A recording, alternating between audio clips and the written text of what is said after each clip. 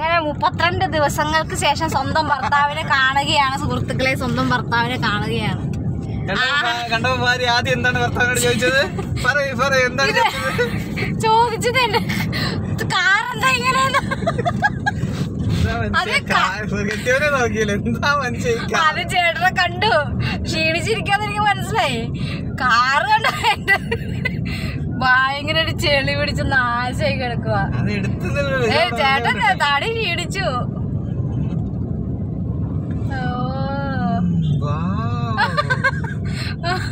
ഭാര്യയെ കാണാൻ തോന്നിയോ? ഡു യു മിസ് മീ ഇടിക്കണ്ടേ? ഇതാണ് പറഞ്ഞ?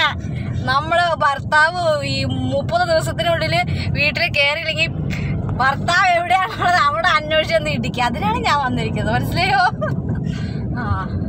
ഇടിയുടെ പൂരം ഇന്ന് എന്തിനു എന്തിനു വാങ്ങണ്ട കുഞ്ഞാറ്റി? അതെ ലക്ഷ്മി ബേക്കറി.